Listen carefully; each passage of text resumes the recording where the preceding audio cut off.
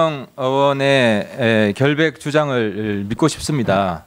아, 근데 그 결백에 결백하다는 그 주장의 진정성을 입증하기 위해서라도 저는 간사직은 사퇴하는 게 맞다고 봅니다. 왜냐하면 이완영 의원이 위증 교사가 맞다면 본인이 의원직을 사퇴하겠다고 그랬습니다. 근데 본인이 이미 사퇴를 선언한 간사직 그 사퇴를 번복한다면 유한영 의원의 발언이 무겁지 않다는 가볍다는 걸 국민들한테 확인시켜 주는 것이기 때문에 본인의 결백을 입증하는 데 도움이 되는 방법은 간사직 사퇴하는 게 더 도움이 된다. 그 조언을 드리고 싶고요.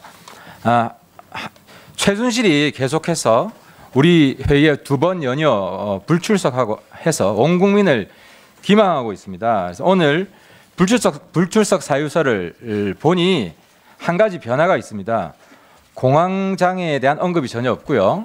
그래서 공황 장애는 나은 것 아니냐 하는 생각이 듭니다. 뭐 이게 다행인지 불행인지 모르겠습니다. 하지만 한글 장애는 분명히 있습니다.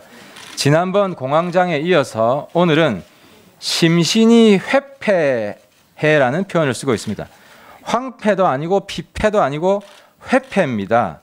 이런 한글 장애가 있는 사람이 대통령의 연설문을 고쳤다는 것에 우리 국민의 자존심은 또 한 번 상처를 받았습니다. 창피합니다. 자 나머지 예, 위, 장경. 위증교사 의혹 관련돼 가지고 지금 여야 공방을 하고 있기 때문에